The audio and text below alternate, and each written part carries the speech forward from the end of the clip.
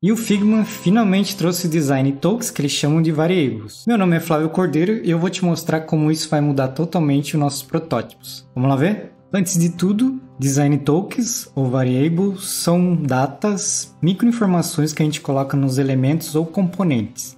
São micro decisões, como por exemplo aqui no software do Figma, quando eu dou o hover com o mouse, ele faz contorno azul. Isso é uma micro decisão, isso é um token, isso é uma variável.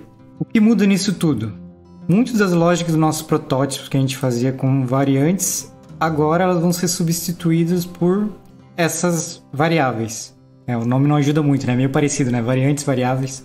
Mas enfim, não tudo, claro que vai ter algumas interações com mais personalidade que vai continuar sendo assim, mas para essas micro decisões, a gente vai começar a usar essa lógica que vem da programação isso é o Figma trazendo para o low code, né? A gente vai começar a trazer mais essa linguagem de programação para fazer os protótipos.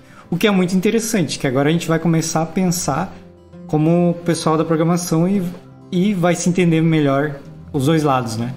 Já quero te adiantar que esse assunto é um pouquinho mais denso, mas vem comigo que eu vou tentar mostrar isso da forma mais clara que eu conseguir, beleza? Vamos lá então. Trouxe aqui um exemplo que era alguma coisa que eu não conseguia fazer antes com variantes. Na verdade até fazia, mas era muita gambiarra e dessa forma com variables agora a gente vai conseguir fazer de uma forma bem mais simples. Vamos lá então. Eu quero que nessa interação ao apertar o adicionar, a gente tenha aqui um feedback para o usuário que adicionou no carrinho. E antes não daria para fazer isso com variantes, como eu disse, ficar uma gambiarra. Mas vamos lá, a lógica como funciona. Agora com nada selecionado, Agora nós temos isso aqui, ó, local variables, que é aqui que a gente vai colocar nossas informações. A gente clica aqui e temos esse painel aqui. A gente vai criar uma variable. Nesse tutorial a gente vai usar o number e o boolean. Primeiro a gente vai usar o number, que é o que? Eu quero a contagem desse carrinho aqui em cima. Então eu vou colocar isso aqui, cart, counting, Vou colocar em inglês, porque né, é uma convenção na programação é tudo em inglês. Vamos usar inglês aqui também. E o valor aqui vai ser o valor que eu quero. Nesse caso vai ser zero. Nosso carrinho começa com zero. Poderia colocar, começar com um, dois, mas não, né? Num carrinho começa com zero. Só isso. Essa é informação que eu preciso por agora. Vou fechar aqui.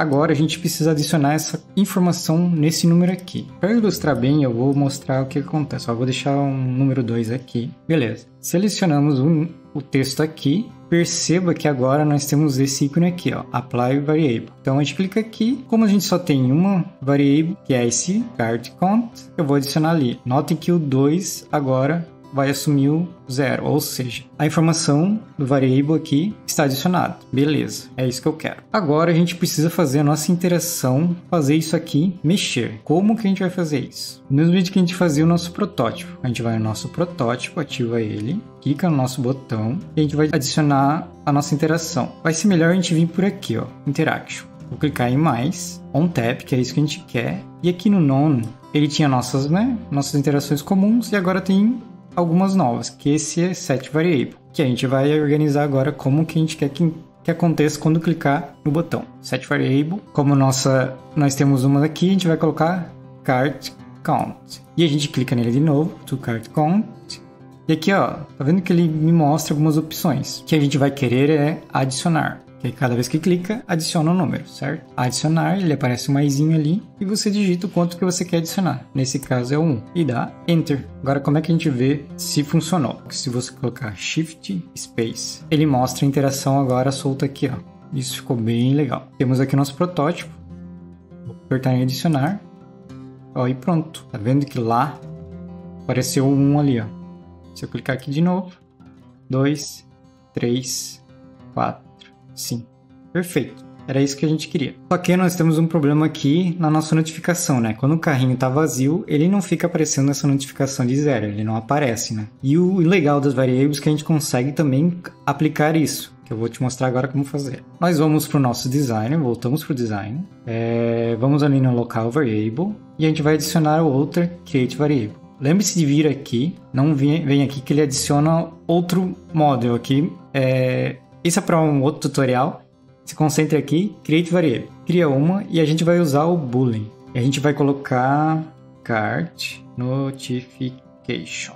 E eu vou deixar false, que eu quero que ele fique desligado no começo. Beleza, a informação está aqui. Pense nisso aqui como se fossem as variantes quando a gente fazia os protótipos. Isso aqui é todas as variantes que a gente está fazendo. E agora a gente precisa linkar essas variantes nos elementos, que é o que eu vou fazer agora. Beleza? Coloquei aqui, Card Notification, é isso aí. Como que a gente vai fazer isso? Eu vou vir aqui, clicar nessa notificação. Note que agora eu estou no count card aqui que eu salvei aqui, né? Ele tem esse retângulo com raio e o número aqui.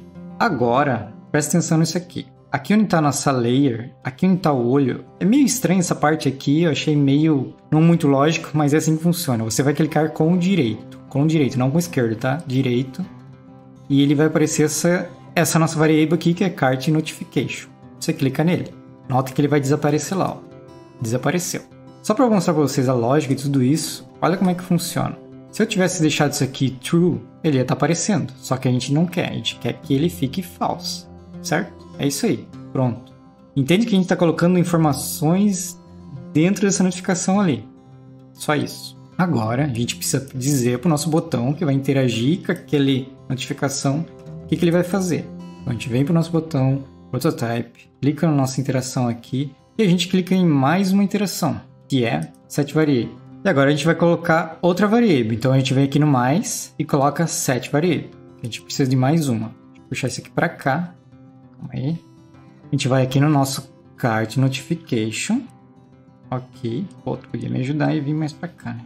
Card notification. Isso aí. E a gente vai colocar true.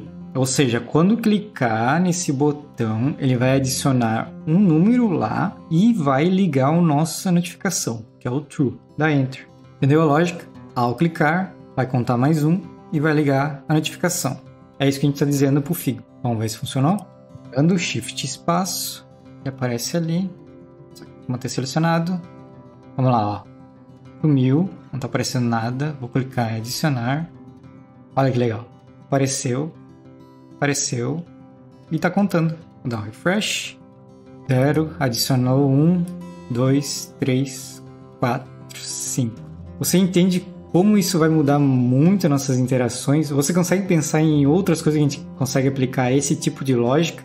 Deixa aí nos comentários, que é legal a gente saber até para fazer outros tutoriais. E aproveite se esse tutorial está sendo útil para você. Aquela troca de gentileza, curte aí, compartilha com mais amigos que querem saber sobre variables. Isso vai mudar totalmente os protótipos e como a gente vai criar as nossas interfaces. Mas eu quero te mostrar por que, que isso muda todo o jogo. Olha como seria se eu fosse fazer essa mesma interação que a gente fez lá do jeito antigo, né, com variantes. Seria dessa forma aqui que eu teria que ter feito mais ou menos. Eu teria que fazer todas as diferenças, variantes de, dos números, né, 1, 2, 3, 4, 5, 6, 7, 8, 9, 10. Teria que criar um componente assim, olha só, eu teria que duplicar ele, fazer o link aqui. Ia ficar uma gambiarra. Por isso que eu não eu nunca fiz essa interação aqui do kart quando eu fazia protótipo, porque eu achava muito gambiarra. Agora, com esse novo método das variables, vai ficar muito mais fácil, muito mais profissional. Vai ficar melhor para você, designer, e vai ficar também melhor para o desenvolvedor, que vai falar mais a língua dele. Vendo assim da primeira vez, talvez pareça complexo,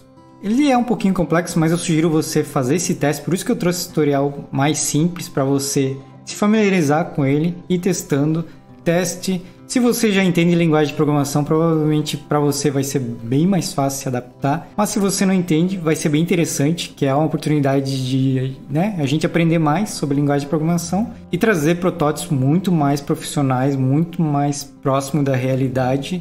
Tem gente que já fez até jogo com esses variables. Se você quer que eu traga mais assuntos sobre isso, Deixe nos comentários qual tipo de protótipo, qual tipo de simulação você quer que eu faça e a gente vai junto desvendando variables do Figma. Nos vemos na próxima, valeu!